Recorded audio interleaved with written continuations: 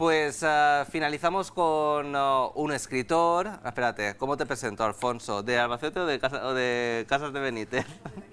de Casas de Benítez. Casas de Benítez en Paronado de Albacete. Vale, venga, va. No hay ningún problema. Venga. Ay, esto no me había fijado, qué chulo por aquí. Venga, ¿ya? Ya.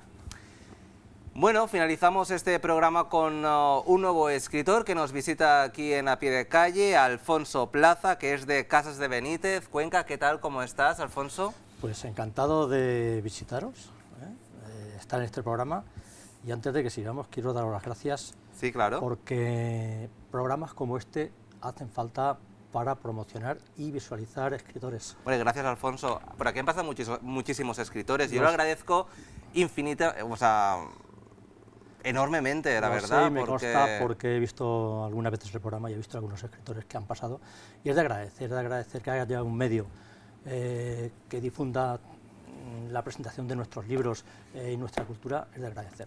Por cierto, que tú presentas el libro el miércoles 21 de febrero en la calle José de Calasanz, en la Biblioteca Pública del Estado, Sí. eh, en colaboración con la Asociación ah, Quijote, Quijote. ¿no? que también está promocionando muchísimo a los escritores de Albacete y también de la región. Sí, sí, además, eh, gracias a esta asociación, eh, que evidentemente eh, vamos a dar unas gracias a la para vosotros. También porque, a Vicky Ciudad a y, bueno, y a, y a Ciudad y a todos los miembros ¿no? de Eh, Quijote.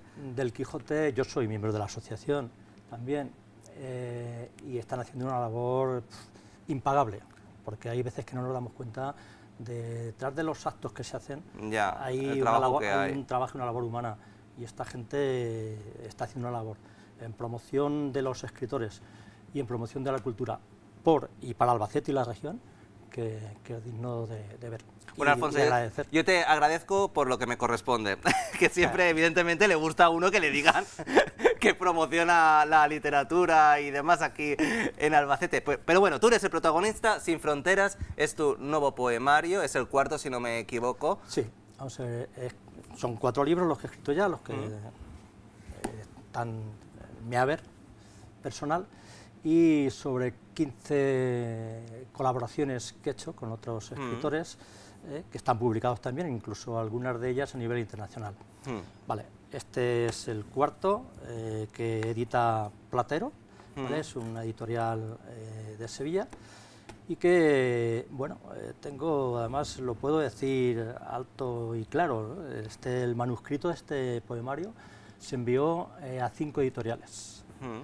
Y las cinco querían editarlo. Te rifaban. Eh, bueno, no es tanto como rifarme, pero las cinco, que- las cinco- Oye, pues es que hay que decirlo también. las ¿eh? cinco querían, sí, las cinco querían editarlo, con lo cual, pues, no sé, algo tendrá. Pues sí. Algo tendrá bueno, ¿no? Oye, pues ah, ya que eh, ah, tiene, empezaste con muy buen pie, ¿no? Mandando esos manuscritos y por fin ya tenemos este poemario sin fronteras. Yo invito a toda la gente de Alfonso a que acceda a la página web plateroeditorial.es para que pueda comprar el libro Perfecto. después de esta entrevista Entonces, sí, claro. o cuando quiera, que se lo apunte en el Se lo apunte ya en su agenda, esa exactamente. particular que tengan. Además, eh, es un libro De que, libros pendientes. hay que leer. ¿eh? O sea, este libro, sinceramente, hay que leer. Por eso te agradecía eh, que tuvieras esa referencia con los autores de este programa, porque hay libros que si no se da la difusión que se tiene que dar, Hmm. eh, difícilmente llega a los lectores. ¿no?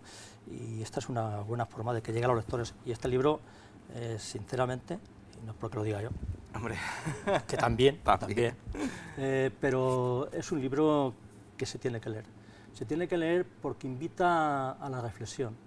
Eh, hay muchas preguntas dentro, eh, muchos interrogantes que a día de hoy siguen siendo interrogantes. por ejemplo, Por Alfonso. ejemplo, podemos poner cualquier ejemplo, cualquier título de, Sí. de este libro, de la poesía, es para reflexionar y para pensarlo bien. O sea, eh, te puedo decir para la paz, Mm. qué momentos, ¿no? Hablar de paz ahora, ¿no? Con dos guerras y las que, las que eh, ah, bueno, que están pueden ahí, suceder, ¿no? Pueden suceder. Eh, sentimiento, el valor de las cosas, injusticias, la palabra, la palabra. La palabra, y además me detengo en esto, la palabra porque es un poema que a mí me gusta de los que hay aquí. Eh, qué don tan grande eh, adquirimos los humanos nuestro proceso de vida, porque habrá quien diga, pues es un don que nos dio Dios, mm. yo soy cristiano, puedo también pensar que me lo dirá Dios, pero la evolución de la vida nos dio este don tan preciado que es la palabra, y que se mueve entre lo bueno y lo malo en un hilo muy fino, o sea, es que pasamos de lo bueno a lo malo con la mm. palabra en nada, o sea, sirve para la paz, según como se diga, pero también sirve para la guerra, para la guerra según cómo se hable. Hmm. Y es lamentable, pero es así. a, veces quedarse callado es mejor. Es mejor. y no emitir ninguna palabra, ¿no? Pues también hablamos de la palabra, hablamos del amor, eh, de la pobreza, de la política, en estos días también es bueno decirlo, violencia de género, eh, hacer pueblo, eh, bueno, hay un sinfín de títulos, fronteras, eh, prioridades, eh, cantares, enfermedad, agua, el aire, la muerte. Le hablo directamente a la muerte, además, para hablarle directamente a la muerte tienes que estar cerca de ella. ¿Y tú has estado cerca? Yo he estado muy cerca de ella. ¿Sí? Muy cerca. Eh, lo, digo, además, lo digo sin... Quizás por eso he escrito este libro. O sea, mm. estoy convencido que si no hubiese pasado por los momentos duros que he pasado, he pasado también buenos, pero sobre todo para escribir este libro me vino a la memoria eh, los duros que he pasado. Si no hubiese estado tan cerca, no, hubiese, no lo hubiese palpado, no hubiese tenido tan cerca, eh, muchas de las cosas con el sentimiento que están escritas aquí y con la verdad que están escritas aquí, no se hubiesen dicho. Oye, Alfonso, y a veces, o no sé, cuando tú escribiste Sin Fronteras, ¿no tuviste miedo a desnudarte a tal nivel Lo digo eh, más que nada porque, como tú has dicho, pues eh, evidentemente no sé exactamente lo que te pasó, pero mm, das a conocer unos sentimientos que a lo mejor, sobre todo la gente más conocida del círculo más cercano, no conocía y no tenía ni idea. Entonces es, eh, desnudarte a un nivel extremo. Lo mío, los más cercanos, incluso no tan cercanos, sí, con mi avatar mm. que llevo en cuestión de enfermedad. Yo tengo siete operaciones y la última fue dramática. Dramática con el acta de función en la mesita. Como no me digas eso. Sí, sí, 75 días ingresados y salí, salí porque Dios y la mano de un cirujano quiso que saliera. Y luego la fuerza de voluntad. La ciencia y la fe. Exactamente, ¿no? Eh, y ahí piensas muchas cosas, muchas y de ahí empezó a nacer Sin Fronteras.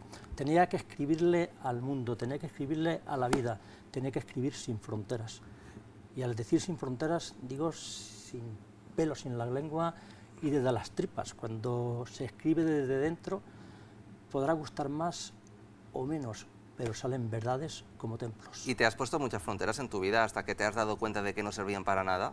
Eh, quizás sí, yo creo que sí me he puesto fronteras, sí me he puesto fronteras, porque hay veces que uno se marca objetivos mm. que llegan a ser fronteras. No sé si me entiendes. Mm. Y cuando te quitan los perjuicios y te das cuenta que no es tanto el objetivo, sino el día al día, eh, haciendo camino, como decía el poeta, y haciéndolo bien y siendo buena gente vale mucho más que el objetivo que te marques a larga distancia, porque es que el futuro no se entiende, mm, no adivino a verlo, yo creo que el futuro es el segundo. Hmm. El presente es el que tenemos que vivir, el pasado pues que nos sirva de ejemplo eh, para no cometer eh, los errores que hayamos podido cometer. Pero como ejemplo y como enseñanza para marcar el paso firme en el futuro que estamos viviendo. Alfonso, ¿quién es eh, Andrés López Salvador? Andrés López Salvador. Lo digo más que nada porque se lo, le dedicas el sí, libro. Sí, sí, además lo dedico, el libro se lo dedico con mucho orgullo y cariño. Andrés López Salvador, tengo a bien, además es vecino de, de, mm. de Albacete, es de la Roda, de un pueblo de Albacete, de los pueblos miguelitas, es mi cuñado. Se lo tengo que dedicar porque en los momentos difíciles estuvo. Te digo los momentos difíciles, cuando uno lo pasa mal es cuando uno se da cuenta Hombre, quién es familia, quién es amigo mm. y quién es simplemente, como decía mi pobre abuelo, arrimado.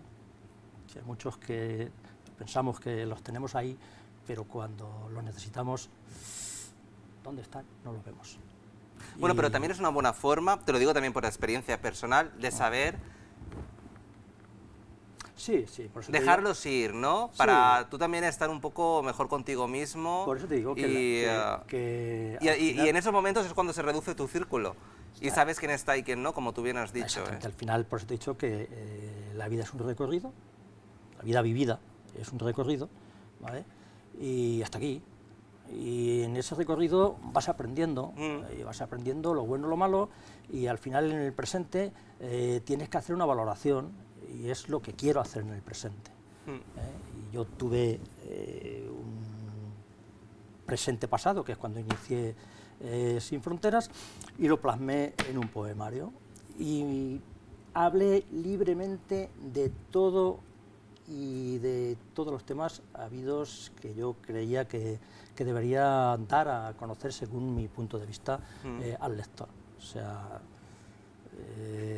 no tendremos, porque es así, es una realidad. Eh, nosotros somos, eh, yo digo que soy autor en vez de escritor.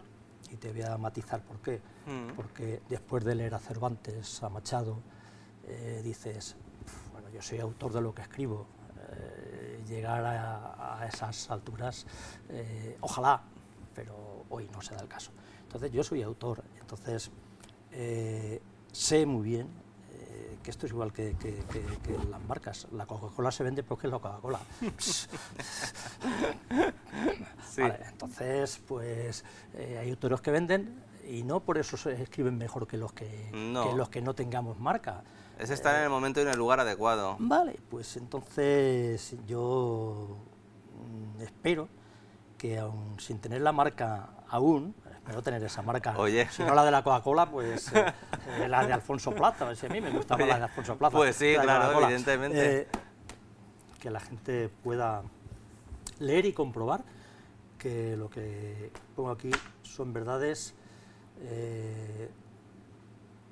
es poesía y la poesía es sentimiento y mucho, mucho, mucho esfuerzo para sacarlo de dentro, exprimirlo y plasmarlo en versos. ¿Crees que cualquier persona es capaz de escribir poesía? Eh, o por lo menos uh, coger un papel o tener, uh, o tener las agallas, mejor dicho, de coger un papel y expresar lo que siente, siendo o no poesía. Exactamente, te iba a decir, no hace falta que escribas poesía para expresar lo que sientes, pero es más difícil expresarlo en poesía, ¿vale? Aunque, bueno, no más difícil, no, más sentido más sentido. La poesía ya de por sí es sentimiento, como te he dicho antes, y es eh, más sentido. Eh, yo, yo voy por la calle con, con, un bolígrafo y una libretilla de apuntes, porque yo no soy de los que me cojo la tablet o me cojo el ordenador y directamente escribo el ordenador. No, no, yo soy de los que, la antigua usanza, escribo y después transcribo al ordenador. Y no suelo corregir, porque soy de los que pienso de lo que me ha dado esta cabeza, la, imaginación, ese, eh, esa inspiración en ese mm. instante, eh, tiene que, que, nace virgen y tiene que plasmarse como nace. Y es lo que hago aquí. Entonces, además de, todos los poemas, hay una segunda, bueno, que está en el, como segundo poema, ¿vale? que, que titulo poesía libre albedrío, al libre albedrío. Albedrío, sí. ¿vale? Y hay de esas notas que yo iba, o sea, cuando iba por la calle o cuando mm. veía a un niño, veía cosa, yo lo escribía. Son poemas cortos, versos cortos, incluso reflexiones cortas, que no tienen ni título. Simplemente dejo que el lector, a su libre albedrío, como estos poemas que no llevan orden, pero sí son sentidos, eh, lo titule y que él le ponga, según interprete, su propio título. Es, interesante, es interesante. No sé si habrá aquí alguno que te pueda que te pueda leer. Sí, porque te voy a decir que ya que nos has convencido de que eh, tus poemas son con sentido y llenos de, ¿no? de sentimiento, que nos leyeses ya para finalizar pues un poema o un fragmento, unos versos de un poema que tú consideres que nos van a llegar. O sea, van a llegar todos, evidentemente, pero ya que está aquí el autor, como tú bien dices, pues es un lujazo, ¿no? Sí, te voy a leer dos. Te voy a leer dos. Te voy a leer, además del libre albedrío. Te lo que pasa es que los otros son un poco más largos, porque eh, antes te voy a hacer, porque ahí en estos de poemas de libre albedrío, mm. eh, me gusta mucho jugar con las palabras. Mm. hay palabras que, que, dan juego, que te dan para jugar con ellas, ¿no? Y dentro de ese juego de palabras, hago un juego con la palabra importante. Y vengo a decir, esto está en esta parte de, la libre. Qué importante es no ser importante, cuando la importancia no importe, porque puede ser importante cuando no te importe ser importante. O sea, es un juego que dice mucho. Mm. ¿vale? Eh, puedo seguir con lo siguiente. Dice, nadie es necesario porque todos necesitamos de alguien. Si todos necesitamos de alguien, nadie es más que alguien. Son juegos de palabras. Juegos de palabras que vienen a decir, y esta sí, porque permíteme. Sí, claro, eh, claro. Aunque no sea ni, ni el mejor ni el peor, pero yo creo que el momento en el que estamos eh, lo requiere. No tiene título, pero cuando acabe de, leerlo, por favor, ponle título. Qué complicado, Alfonso, me pones en un compromiso. No, te lo pongo fácil. Uy, venga, va, que yo no soy ya, aunque me gusta leer y demás, eh, mi imaginación, eh, mi creatividad. venga, vamos, venga, vamos, va. Malditas guerras, guerras malditas, maldito sea quien apriete el botón, que da paso a la destrucción, generando pánico y desolación, que provoca llanto, muerte y pena, rompe familias, trunca vidas, sepulta niños, niños, mezcla carne y escombros, rompe silencios con brutales ruidos, espanta a los jilgueros, destruye sus nidos. El árbol perdió su verdor cuando del cielo un misil cayó. Miseria y pobreza, pobreza y miseria. Malditas guerras, maldito quien aprieta el botón. Vidas truncadas. Perfecto. Me ha venido a la cabeza enseguida. Y además muchas vidas truncadas. Sin ninguna razón. ¿Te das cuenta lo que decía antes de la palabra? ¿Te das cuenta? Sí, completamente.